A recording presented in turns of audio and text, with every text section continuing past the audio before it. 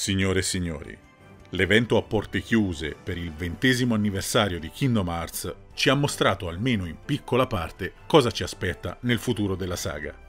E senza farvi perdere nemmeno un secondo del vostro prezioso tempo, vi mostro immediatamente il momento in cui ho tirato un sospiro di sollievo. L'unica scena che mi ha dato vera fiducia per il domani. Pippo e Paperino ci sono!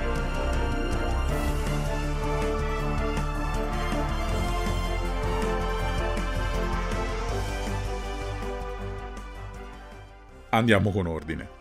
Ho voglia di entusiasmarmi insieme a tutti gli appassionati e il brivido di curiosità e aspettativa che ogni capitolo porta con sé, fomentando la fiamma della nostalgia mai spenta, ovviamente si fa sentire.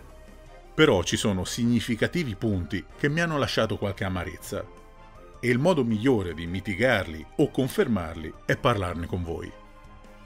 Cominciamo con Dark Road, il finale della storia del giovane Xehanort arriverà ad agosto, quindi dopo quasi un anno di ritardo. Come promesso il titolo mobile non sarà ulteriormente giocabile né direttamente online, ma riceverà questo corposo e gratuito aggiornamento di scene per chiudere il sipario dopo aver raccontato viaggio ed evoluzione degli allievi del Keyblade di Odin.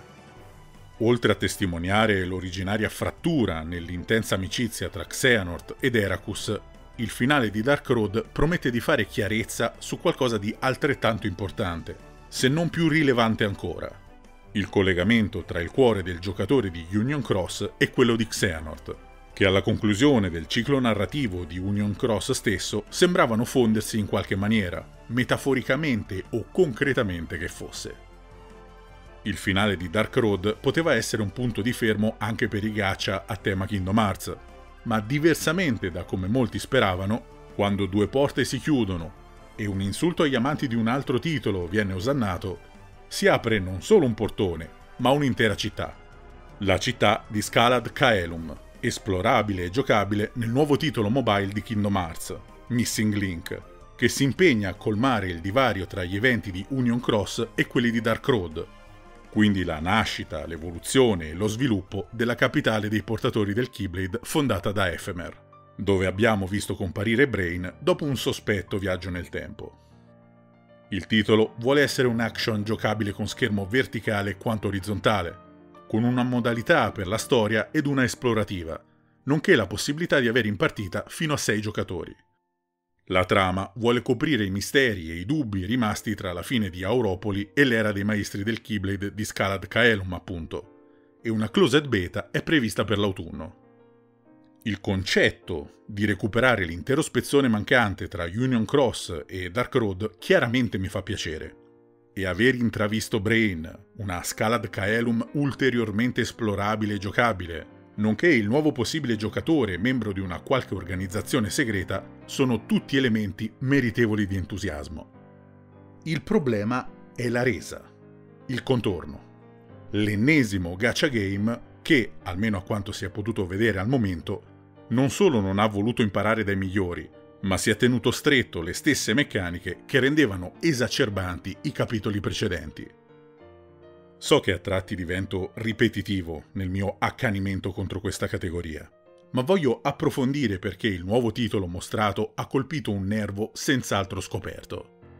Dopo aver chiuso due giochi mobile a tutti i giocatori che hanno visto le centinaia di ore o euro spesi in medaglie o il cielo non voglia in carte, cancellati senza quasi uno straccio di spiegazione, con che coraggio torniamo sull'argomento?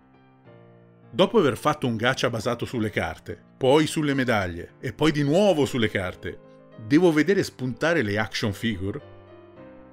Al di là che le trovo sgraziate come resa estetica, nel vedere questo giocattolo munito di piedistallo che rotea in modo ridicolo intorno all'eroe, ma quello è un giudizio soggettivo e personale, non badiamoci.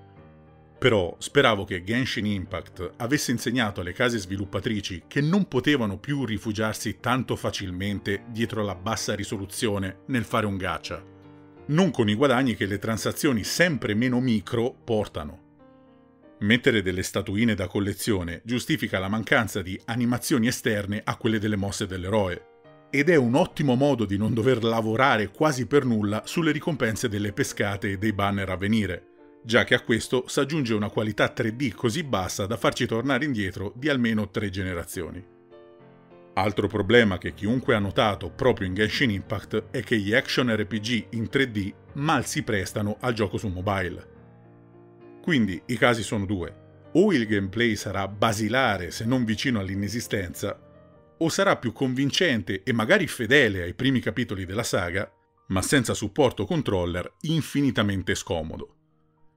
Tutto quello che ho detto in passato contro i problemi che un gacha può causare, anche e soprattutto alla narrativa diluita, ovviamente si applica anche qui. E molto altro ci sarebbe da dire e più che altro ripetere allo sfinimento. Vorrei concludere invece questa parentesi estendendo il mio unico vero elogio a quanto mostrato di questo gioco.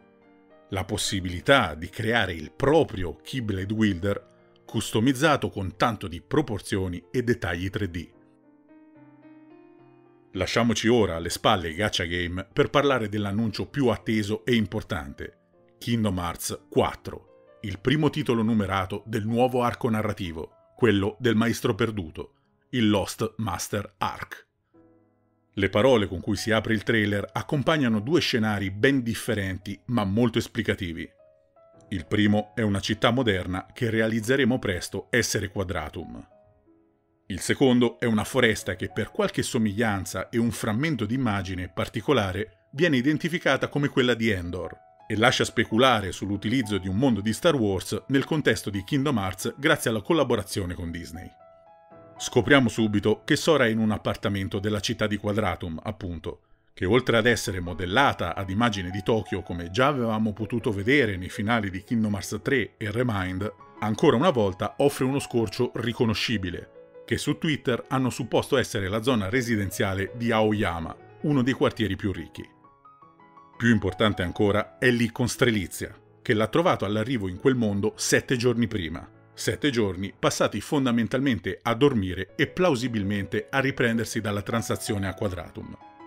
La risposta di dove fosse finito Sora si unisce quindi a quella di che fine avesse fatto Strelizia.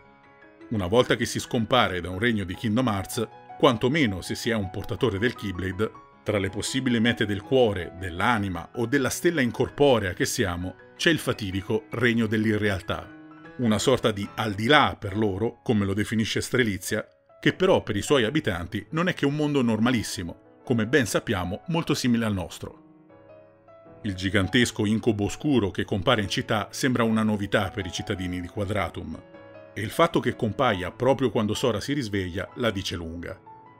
Dico che sembra una novità per il modo in cui reagiscono, chi rimane impietrito, chi osserva con orrore e fugge caoticamente, chi riprende la scena con il cellulare molto saggiamente, ma comunque tutti rispondono all'evento come se non se l'aspettassero e non avessero idea di cosa sta succedendo.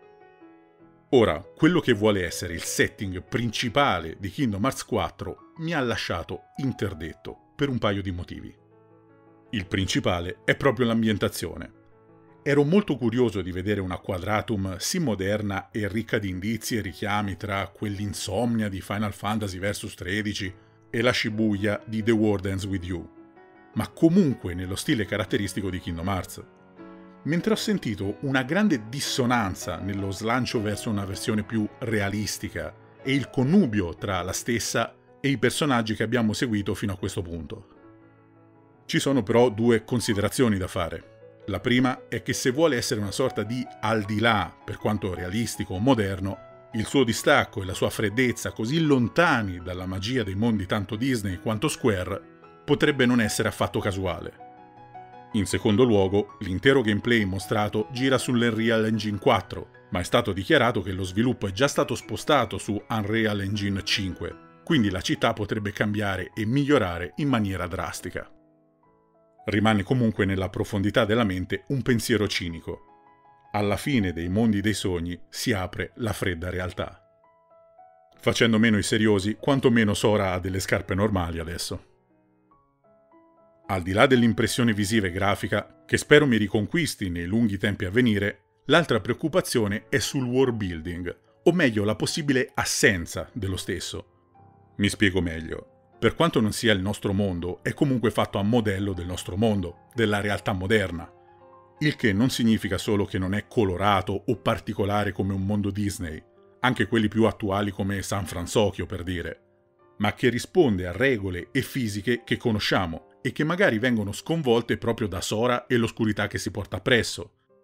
Ma è una sorpresa per loro, non per noi, che assistiamo ad una sorta di isekai, non a caso un mondo straniero in cui si compare dopo l'ipotetica morte, con la differenza che di solito dobbiamo esplorare e scoprire la nuova realtà. Mentre qui, sempre teoricamente parlando, si intende, sembra avvenire il contrario. Lo scontro con l'enorme incubo d'oscurità invece dovremmo direttamente lasciarlo stare. Non solo per quanto detto prima sull'engine e la lavorazione dal lungo sviluppo, ma semplicemente per esperienza. Già prima ci hanno fatto questa sorta di sgambetto da fake gameplay, ma abbiamo già visto che come action JRPG i Kingdom Hearts sanno essere di una qualità eccelsa. Se c'è una cosa che non mi preoccupa è quella scena. So che Kingdom Hearts 4 sarà dannatamente divertente da giocare, lo è stato il 3, anche se alcuni non concordano con me, ma di sicuro non potete non concordare sul 2. Insomma, possiamo prendere in giro quanto vogliamo la narrativa claudicante, ma il pedigree della giocabilità direi che ha già dimostrato più volte la sua qualità. Quindi su questo non ho paure.